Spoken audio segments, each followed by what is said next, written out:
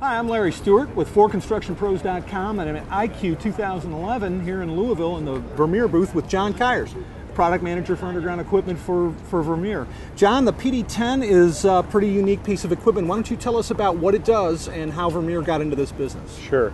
The PD10 is a, a machine that's designed for the installation of solar piers and primarily in large utility scale and large commercial solar arrays. If you can imagine 100 acres with thousands upon thousands of posts on the ground that need to be driven into the ground to some exact specifications.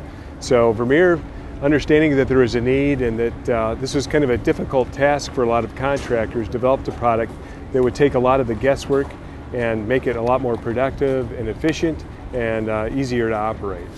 What's the, uh, the, the source of the need for the accuracy in driving poles in a solar array? Sure. Well, if you look at, at the, the need for accuracy, you need to have the post completely vertical and you need to have it driven at a, an exact depth. If you look at this, just this, uh, this um, array on just behind us, you'll have to, you'll notice that they want these poles driven at the same, um, at the same height just for the fact that you don't want any shadowing whatsoever on the panel itself. So if you have panels that are uh, or posts that are uneven, you have a shadow problem. Also, it's a lot more difficult to install the hardware uh, for the actual placement of the panel on the array. Mm-hmm. And you've got Vermeer's got some customers that are that are doing this kind of work. Yeah, we're actually in the in the validation testing part of this, and we've been on a number of solar sites as of uh, and working mm-hmm. uh, actively putting in these posts on the okay. jobs. And how does the machine um, deliver the, the the plumb that you're looking for, the vertical uh, sure. element? Okay, the, the machine uh, actually has an inclinometer that's placed on the mast itself. Okay. And um, what that basically does is, no matter what kind of terrain you're in, um, it will align the post to be in a completely vertical axis from your X and your Y axis. So um, it does it automatically with a push of a button. Uh, it senses where it's at in relationship to the ground and, and, puts the post in a completely vertical position. How does the machine um, guarantee the, the, the uh, or I should say, I guess, the pole height? Uh, sure. Yeah. What we have integrated into our control system is actually a laser receiver. And as, a, as the laser beacon is, is spinning around and sending the signal out, as the hammer goes down, uh, that uh, the laser receiver will pick up the signal from the laser and slow the hammer down until it reaches the exact height that, um, that the customer would want that post at, and it will stop the hammer automatically. So there's no operator interface whatsoever uh, in achieving that, that direct height. I see. And the way the controls are set up on this machine, I, I understand that, that you've made it pretty simple for a single operator to, to uh, manage the project. That's correct. On all the controls for the machine are located on the joysticks. So you have the mast to move in and out, side to side, the mast tilt left to right, and the mast tilt forward and reverse. Mm-hmm. That can all be done with the two joysticks on the operator station. Now, if for, for some reason um, that's generally when you see a two-man operation in pretty large beams. When you have smaller beams, we also offer a uh, radio remote control that also controls the machine. All the functions except for the start and uh, for the start function mm. uh, can be um, tethered to the operator's neck. Okay. So he can control the whole machine without being on the seat as well. I see.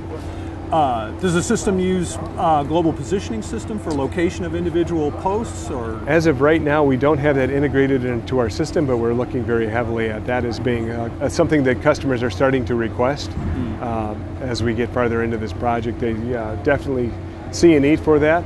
Um, some of the issues that we're trying to, to understand is that the tolerances are pretty pretty tight. Um, we want they don't want to have a lot of tolerance stack up of posts being off a couple inches. They need to be completely in line. And right now, GPS, it's very difficult to guarantee that they can get to that exact specification post after post after post. So how are how are contractors locating posts? Now? Right, right now, they're uh, after they when they survey the job site, they're laying it out. A lot of times, they're using a string line.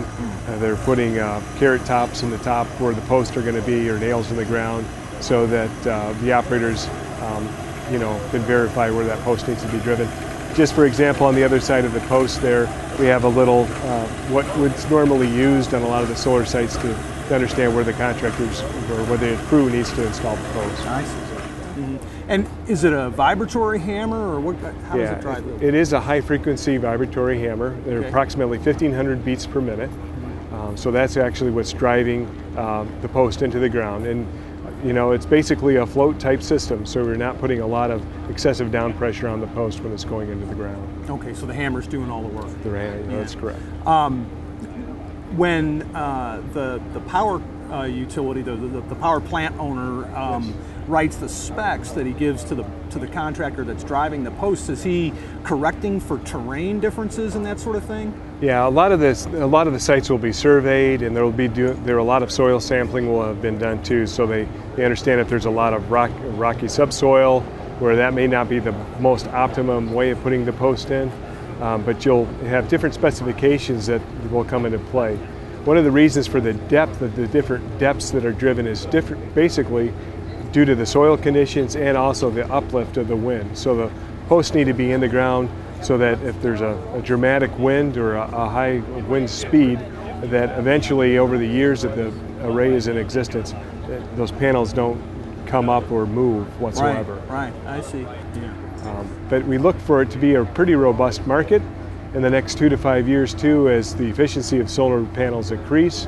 Um, we see that uh, passing that fulcrum point where it, it really, uh, there's no need for a subsidy and it's commercially viable all by itself. I see.